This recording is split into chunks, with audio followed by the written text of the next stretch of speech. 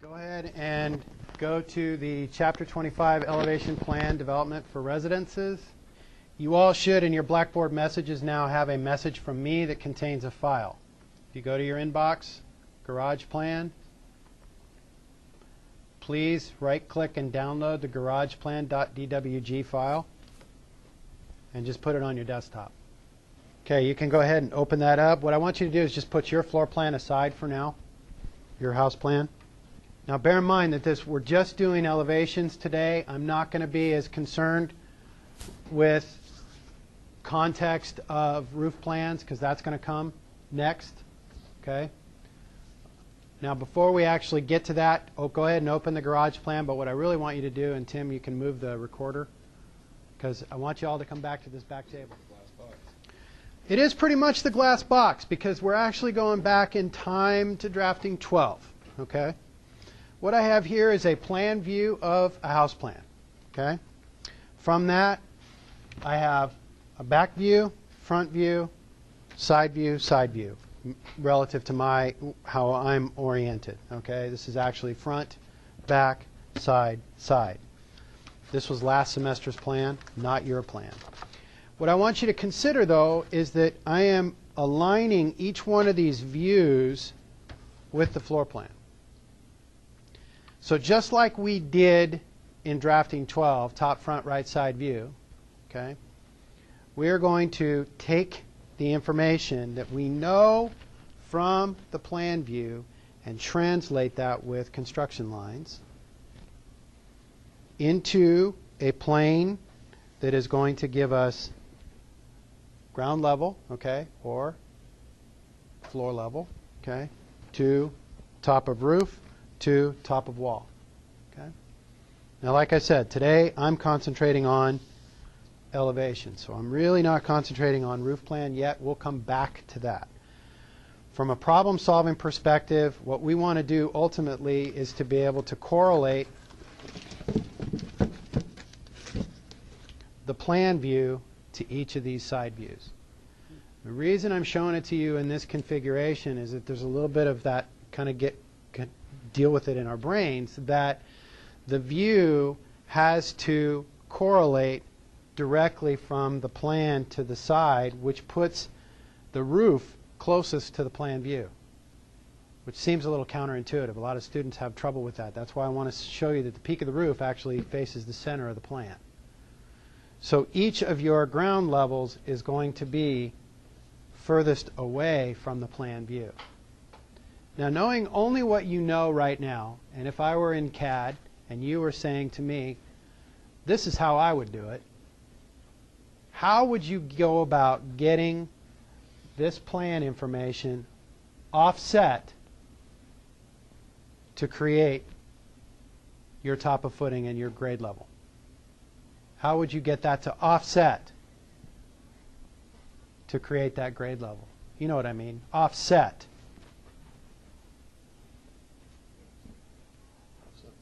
Hey, there we go. Somebody said it. Offset. I'll be darned. Right? Wasn't a trick question. Right? You, you kept saying offset because that's what I'm looking for you to do. Right? So we're going to offset each of our exterior boundaries to at least create that grade level. The important thing is, is that we've got to create it equally all the way around. That's why we're going to start with the garage plan. It's 20 by 20. It's easy. I can literally offset it as a, a rectangle or a box, a square if I want to. But in our case, with a floor plan that isn't so regular, we want to take the wall that is most exterior and furthest away from center and use that as our guide. You want to create it in such a way that you have plenty of room to account for the eventuality of the roof. Okay? Now we're creating stuff that's oriented in kind of a weird way. We like to make sure that we draw in such a fashion that what we're drawing is at least heads up to us, right? Well, AutoCAD has these really cool tools that allows us literally to rotate model space. So every one of these views I can rotate using my view cube and my information, and I can bring it to a configuration that works. We can also create it in paper space so that when I'm actually doing my layout for my elevations, I can create a paper space view that shows the orientation of these correctly on the page. Okay? All right. Will you be using your, uh, your, your uh, floor plan for each one? You would uh, do your construction lines for each elevation? That's what you're going to do? You're going to Exactly. Exactly. And, and why? Right? Why? Because every one of my window and door openings to the exterior is right there. So every place where I have a coincident relationship between wall and door, I'm going to be able to bring Straight down? straight down or straight over and across. Okay? So all these elevation drawings are gonna be same file, same drawing as the floor plan? That, that's the method that I am going to teach you, okay? And, and let me tell you why. Because I think ultimately that saves you a lot of time and effort rather than trying to calculate and figure it out. You can copy your floor plan to another file. But some of you are probably already encountering this because I haven't really said don't do it that way. You are, some of you are using multiple files, right? Whatever you change in one, what do you have to do? hmm So the more files that you propagate, the more control you have to put on change. And one of the biggest challenges that we face with CAD is change. It's easy because change is quick. It's easy to click on a line, erase it, do what you want, manipulate it. Not so easy to manage it drawing to drawing to drawing. So if it's all in the same model, that helps. Okay? So you would throw your floor plan in the middle and create Mm-hmm. construction lines and just do Mhm. each view and then you would copy it? Yeah, and the great part is you got an infinite drawing space, so you can do that. Okay, so elevation today. So I'm really interested in grade to top of wall. Not going to worry so much about putting a roof plan on it. That will be next. All right, we'll do that next. Really pulled this information, uh, you know, just from a stock file that I had.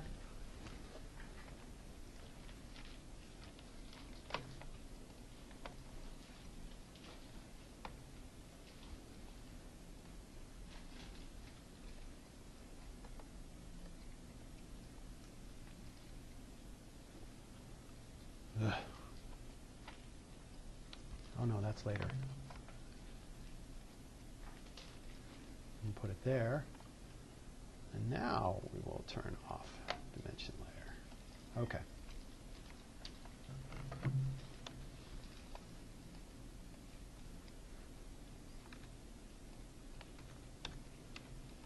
So we have basic wall configurations in our plan view, we've got our windows cut, we've got our doors cut. Go ahead and go back, get out of your layout, go back to your model space, please. Okay? So that your, your plan looks like mine.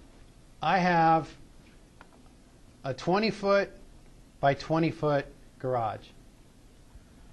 I need to account for information that's going to be eight feet from bottom of wall to top of wall, plus probably another six inches to grade, plus on a basic 4 and 12 pitch, probably another 5, 6 feet. Okay? So I need to think about offsetting my work sufficiently to account for all those things.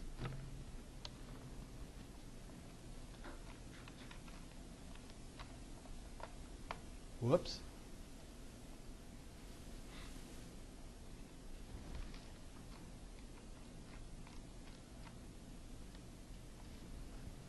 I'm just going to grab this and I'm going to go ahead and offset. And I'm going to just keep it real simple and I'm going to do 20 feet. And remember, which way is the peak of my roof facing? Towards the center of the floor plan or away? Towards the floor plan. Okay?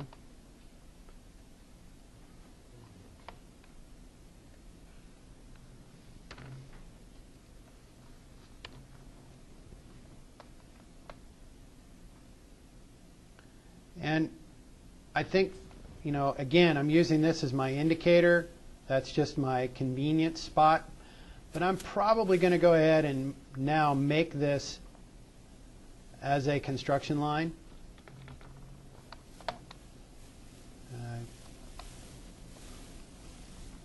Wanted actually to rename that by now. I created a new one called Layer 1, and I'm going to rename that now to Elevation, and I'm just going to call that Construction for now. And I'm going to make it yellow so it's easy to see. But you can do anything you like. I mean, I'm, again, this is not a beginning class, so I'm not mandating it you do it a certain way. So I have given myself enough that I can account for a peak of a roof and I can account for the wall system itself. So I'm going to take this line, offset again,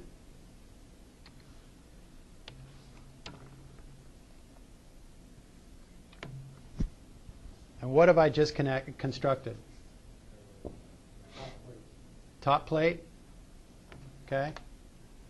And now, rather than draw construction lines, I will just go ahead and use rays. The only difference between a ray and a construction line is that a ray has a fixed point, doesn't move infinitely in two directions, it only moves infinitely in one direction. And I'm going to account for all of my locations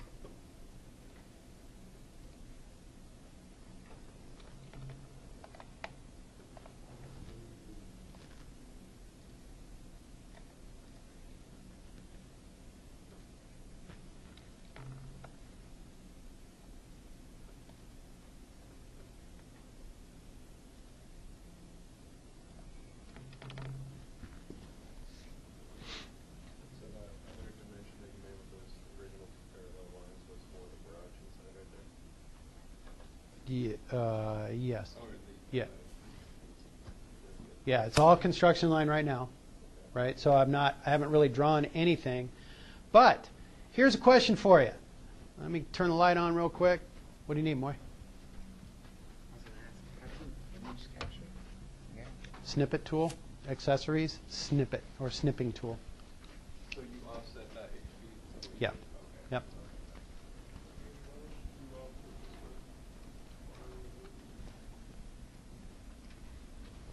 Here to here, eight feet. Eight feet, zero inches.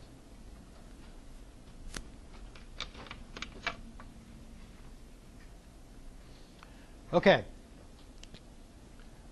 We've been making walls since drafting 12. We've been making windows since drafting 12. We've been making doors since drafting 12, right? You learned that the encoding that we've used refers to what?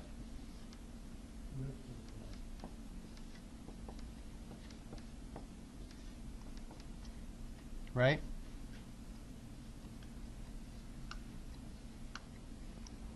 And then the type of window.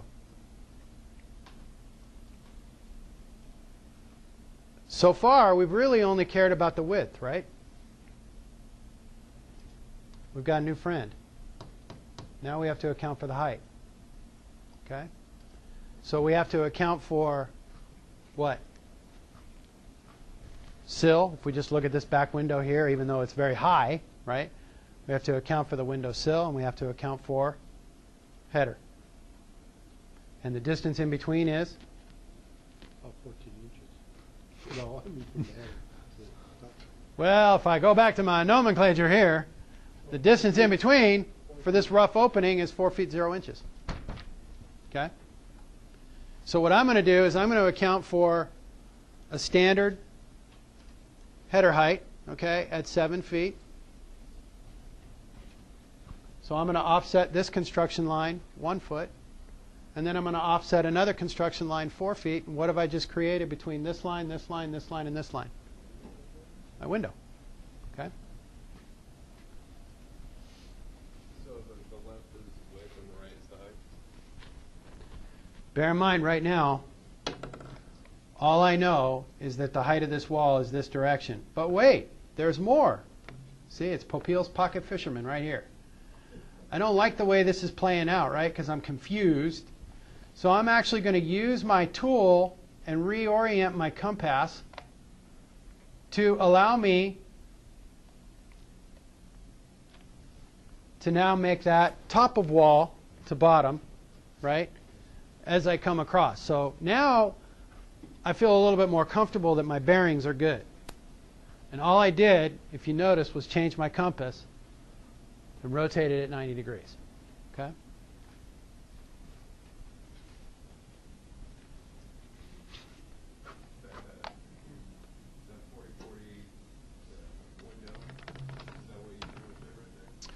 Yeah, I think actually that's a 6040 if I'm not mistaken. So, So that, the left side would be Whoops. your width, and the right side would be your height, is what you were saying with it? Yes.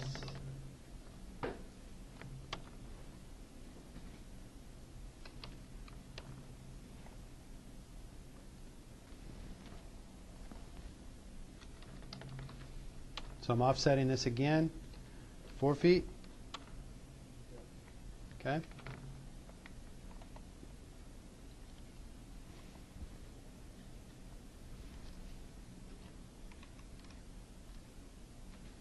Me just move back to the position I was in before. So this is top of wall, bottom, side, side, window opening.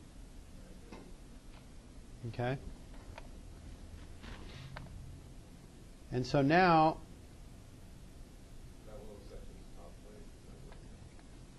mhm, yeah, this area right here? Yeah.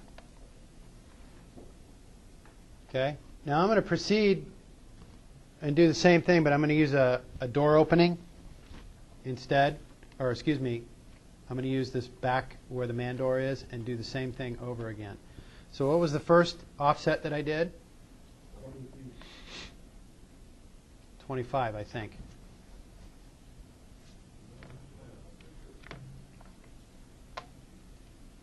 Well, let's see. It's been one of those days, so I better find out. 20 feet. You guys are good. Better than me, apparently. You win. Good job.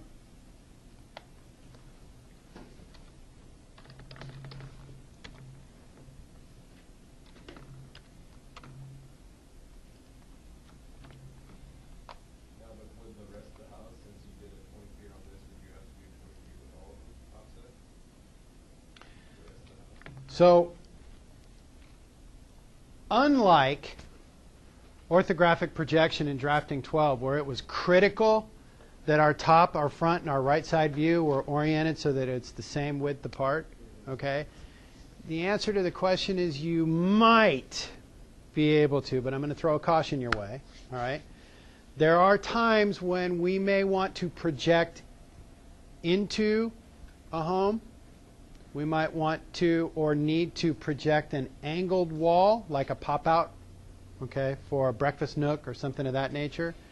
And if we have anything that crosses two planes like that, we should keep it the same distance in each view, each of our elevations, okay?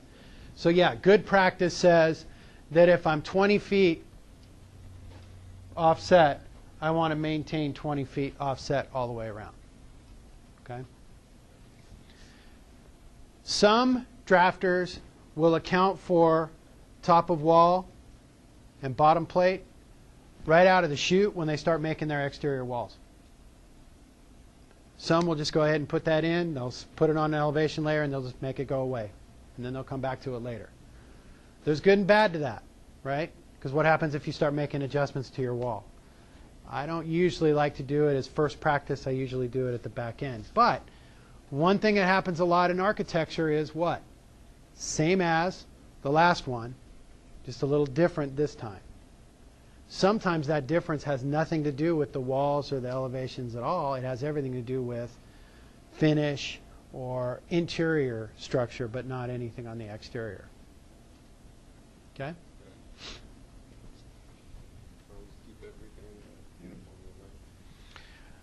You got it. That would be preferred.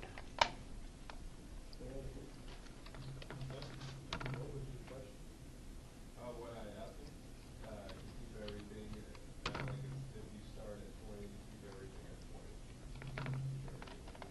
Keep everything the same.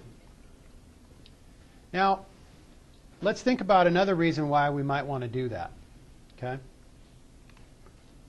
And I'm just going to zoom in right here. And intuitively, I kind of have a sense that if I place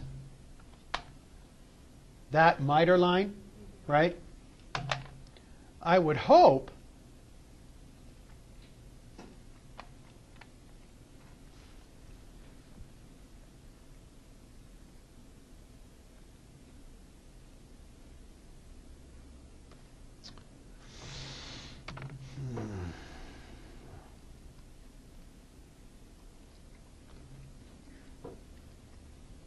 Okay, 135 complementary to that is 45, right? If I do that, then do I need to use the offset command again? No. I can come right in, do a construction line, and now I can pick up even a little bit more speed than I had before. Okay? Because my header height and my sill probably going to end up the same. And there's a good insurance policy to that, isn't there? Guys ever looked at a house that somebody did a renovation on or an addition and you just notice there's something wrong with that wall? Like the bathroom window is not quite at the same height as everything else? Or that window height for the bedroom is down just a little bit more? Our eyeballs really like to have uniformity of horizontal lines. We kind of live on it, right? There's crooked stuff in this room that probably drives you crazy. It drives me crazy, right? There it is. There it is. Whatever. We like to pick out that horizontal. So this is from a drafting perspective. I won't. From a drafting perspective, we want that uniformity to exist. Did you have a question, Chris? No. Okay. Nobody will touch it. I promise. Grab it. So even, uh, even in architecture, I can see you doing this, with the construction lines and stuff like that. Yeah. I just, uh, that, that's where I started my work on. Yeah. So now I'm just going to go ahead and use my rays. Grab the corner.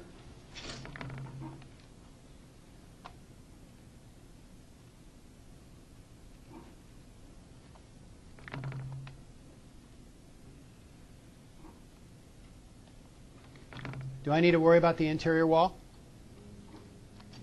Nope. Anybody remember back in the day when dirt was new? How, how can I go back to the same command over and over again? Thank you. Remember that space bar.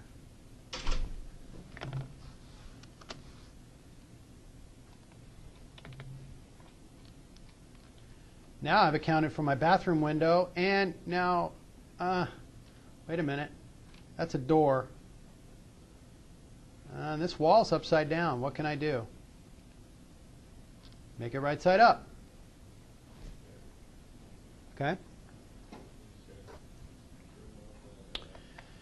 Yeah, so now that I've gotten two done and I've gotten these two adjacent walls done, I'm going to go ahead and now bear in mind I'm not I'm not following an AIA layer convention. I'm going to let you guys actually go back and use AIA layering conventions, but I'm just going to go ELE wall and I'm going to change this to white. Make it current.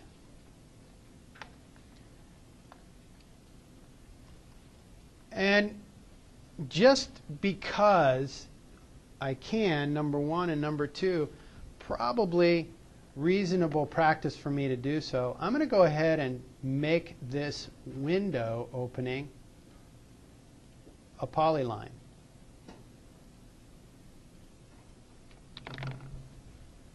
Because now I'm going to be able to account for trim. And I can quickly do that with an offset and put trim on that window. And I'm going to use polylines for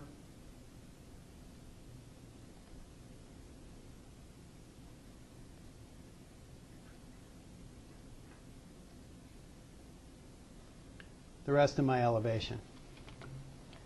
Now if I turn off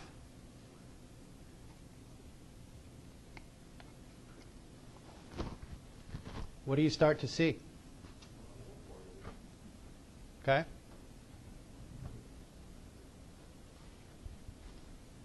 I can see I got a little housekeeping to do here. I don't really need that anymore.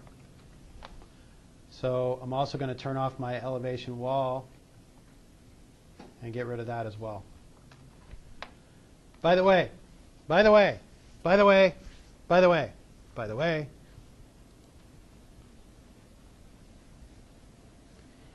you guys ever end up with more layers than you expected? And you're like, oh, I just want to make that layer go away. It just doesn't look good in my list, right? Something was attached to that layer at one time, and you deleted it. It's not there anymore. You moved everything. It's not, but you can't delete the layer. Frustrating. Yeah, I tried that. it happens. Okay. You can do something called purge. Okay. Caution. Any anytime you have a command that's associated with purge, it can be synonymous with pillage. Okay. But let's go through it and check it.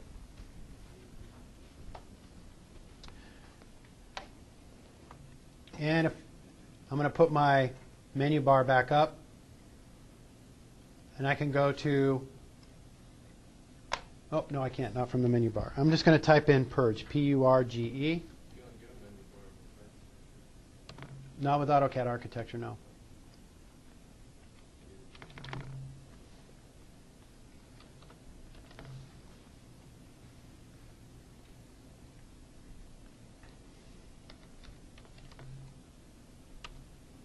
Okay. Whoa!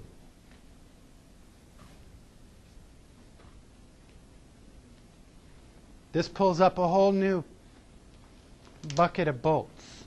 Okay?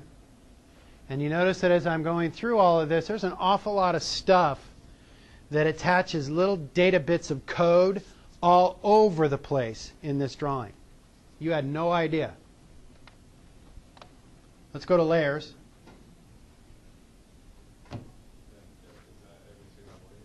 Nope.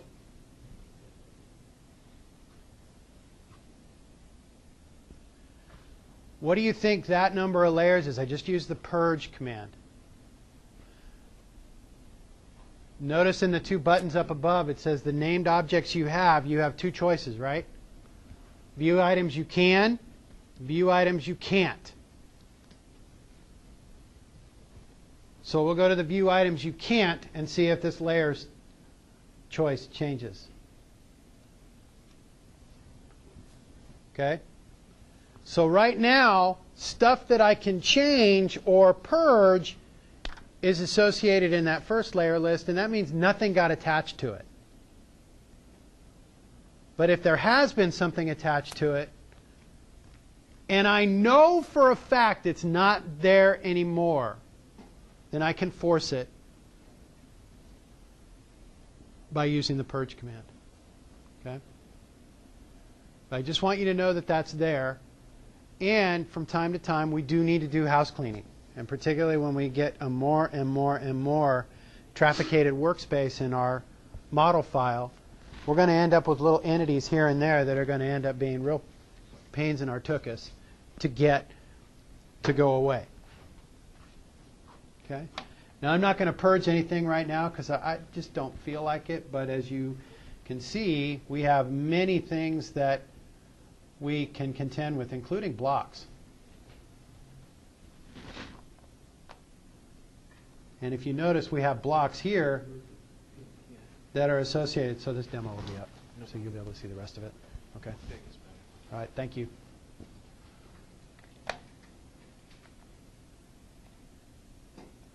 There's a three-way switch, a bathroom exhaust fan, and a fluorescent light. Those are ones that I can't. The ones I can't are the ones that AutoCAD creates all by itself.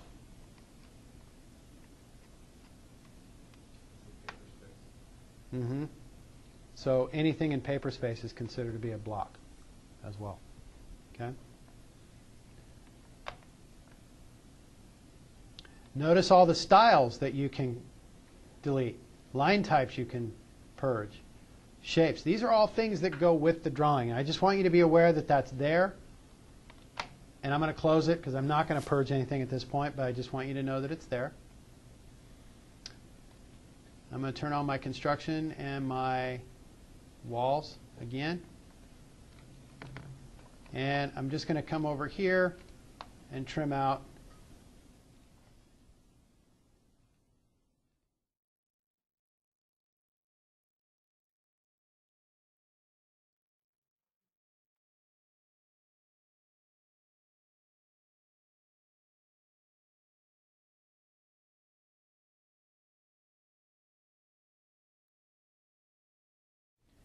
now I'll go ahead and turn off my construction layer.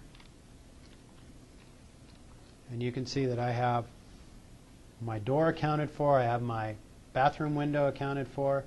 And I'm going to go ahead and focus in on the bathroom window right now because sometimes we want to add a little bit of realism to the work. Okay? And the realism is going to come in the form of an offset that I'm going to create just by creating a window trim. And I'm going to create a 3 inch window trim to the outside. And then I'm going to use a line and I'm going to grab the midpoint of that line. Apparently I don't have it turned on.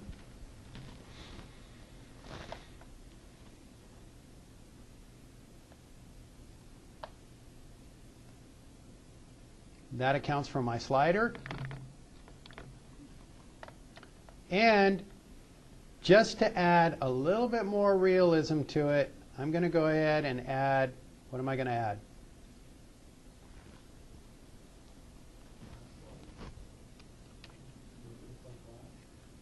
Yes, exactly.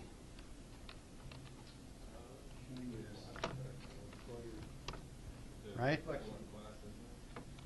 Yeah, so even though I'm having a real great deal of trouble work, working AutoCAD right now, I'm, I'm doing great. I'm feeling good about myself.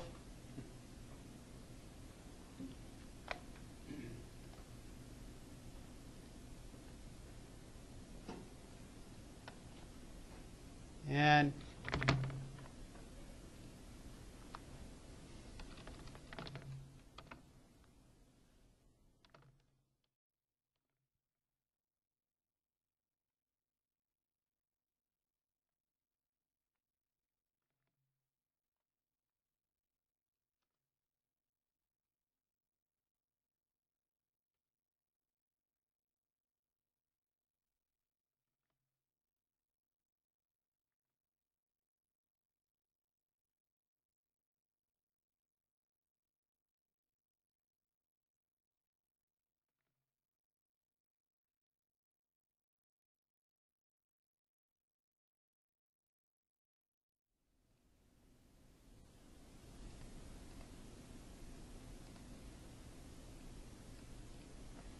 there, so not, not exactly perfect, but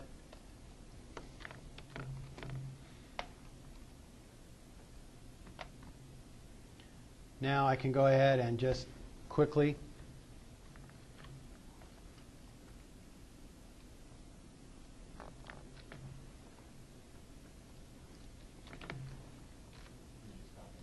Yeah.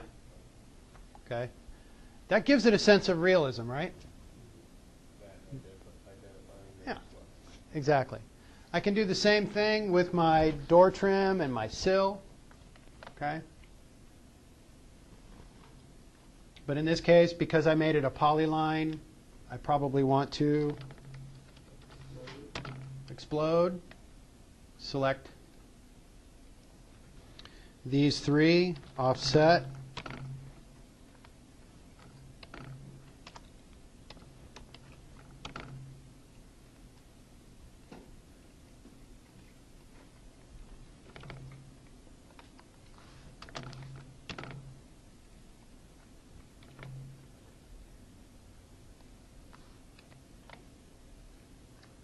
Apparently, I don't remember how to do that quick enough.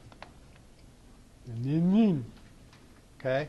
But if I don't want to do that and then have to go ahead and backtrack, what can I do with those three lines? I can join them.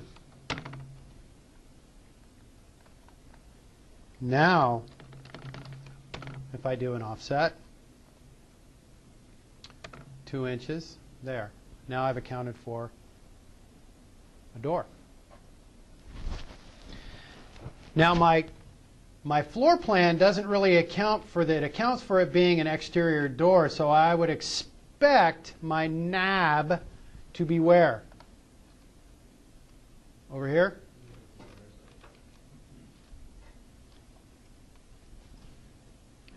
So I can place my knob right over here. Anybody know roughly how far off the ground? I'm over here at the door.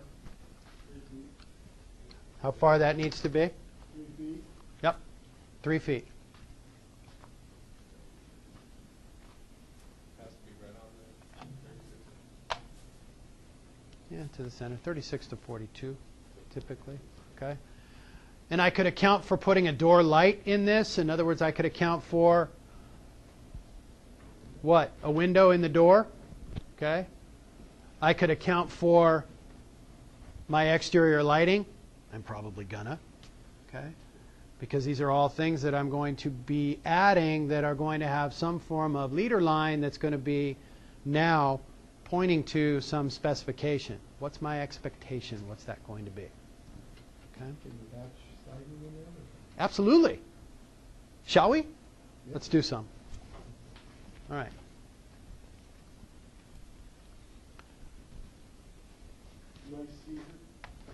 Oh, would you? Uh, well, I'll see what I can do.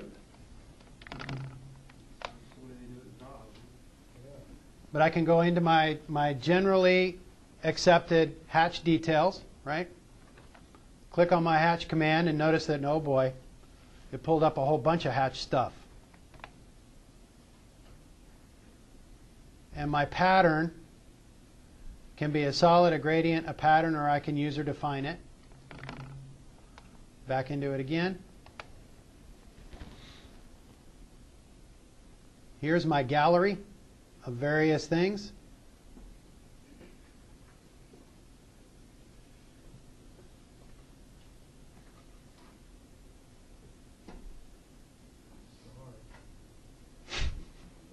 You like stars? I don't think so.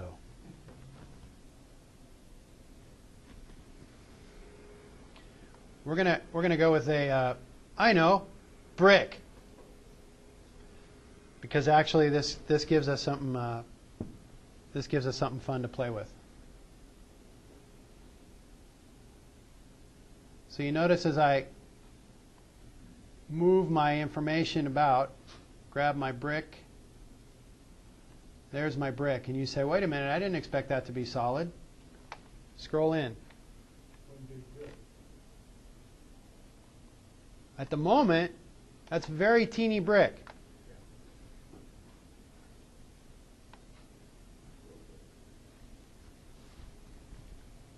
One inch by one inch brick. You could be the mason who put At, at the at the moment, it is teeny tiny, awful, terrible small brick.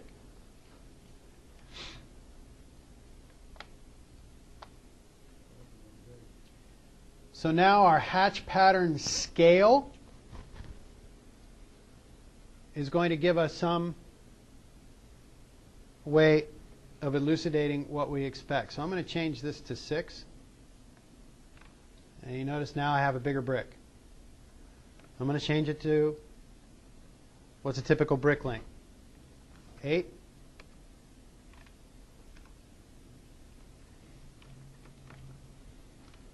Okay. All that in just a little bit. And now there's no doubt in our minds that this is what? A wall, right? We do need to account for a threshold and a doorknob.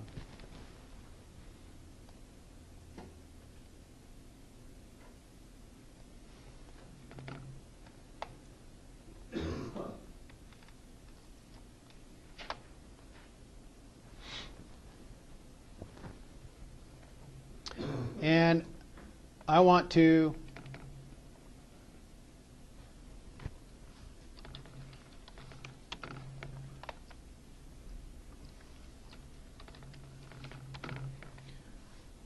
place a doorknob, and I'm going to place it, what would be typical? Yeah,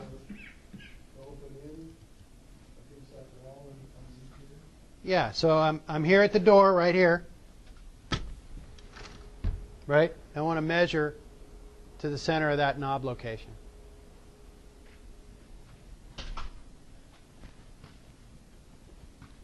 We'll go four inches for now.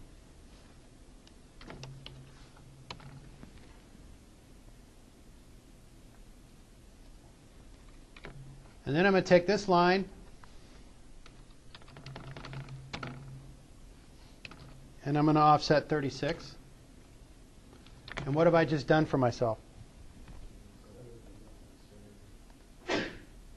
There's my knob. Okay? I'll make it 3 inch. I'm exaggerating. Never going to be that big of a hole. That's a 3 inch radius. Probably should make that The hole was two and an eighth, so now it's probably, uh, two and a half. So I'm going to make that uh, one and one sixteenth inches. Sweet. There it is. Now I really don't need those anymore. Those anymore. Okay. Any doubt in your mind? Thank you. I wanted the lever. Ugh. You're making this difficult, Jim. The look in the blocks I gave you. Yep. Brass. There you go. Brass. The whole door's there. Yeah, brass lever.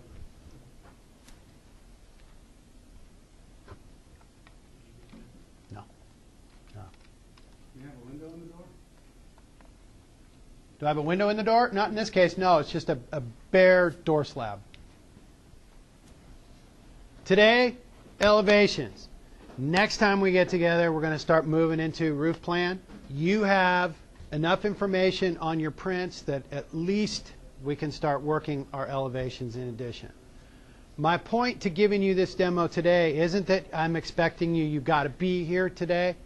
You got plenty on your plate. It's just a matter of now, when you feel like you may be running a little short on something to do, you've got more that can be added to it. Okay? One last thing I want to show you, and that is we're going to go back into layers and do a little grouping. Okay?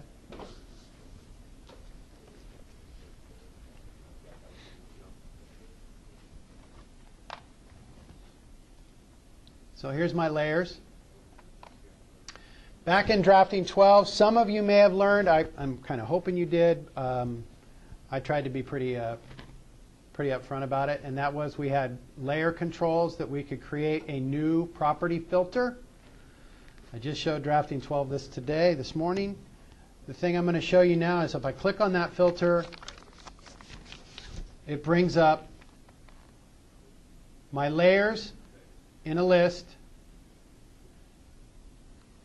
and the ability to build a filter based on whatever criteria I give it. So I'm going to build a filter criteria based on color and make it red. Now every layer that is red will come up in that filter. I'm going to click OK. Now you notice I've filtered on red layers. I'm going to create another layer filter and I'm going to filter on hidden 2.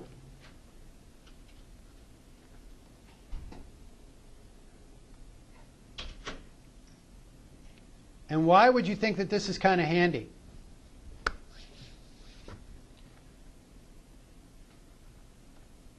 All the layers are still there, they're still turned on. But in this case now I really I can concentrate on red layers and turn off the ones that I don't need, turn them all on, and I can always go back to my total layers. But filtering by property is part of the battle. Creating a new group is another part of the battle.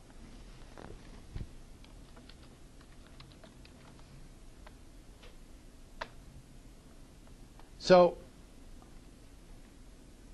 I now have an elevation layer and I'm going to drag my elevation construction lines to the group. And my elevation walls to the group. Okay? Now, rather than a property, I can actually tell it what I want to be in that group. So when it comes to your foundation walls, your footings, your foundation, all your foundation notes, you can group that into a group filter that now on or off foundation. So not trying to downplay creating a separate drawing file for each, but now because we can control the layers and we can control the visibility, we still have it in one file. Okay? Once I create multiple files, then I have more than I have to manage than I may want. Okay?